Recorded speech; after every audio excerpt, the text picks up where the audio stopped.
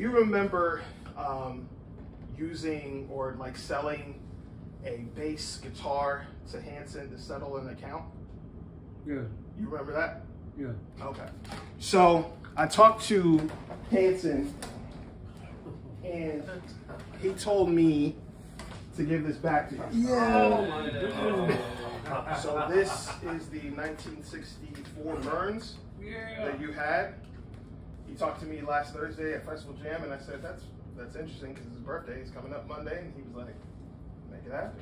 It still works, and he said there's a couple, um, couple things that he would like to uh, fix up here in a couple months, but he wanted to give this back to you. So uh, happy birthday!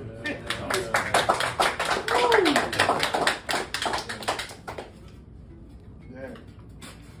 yeah. Good. You good.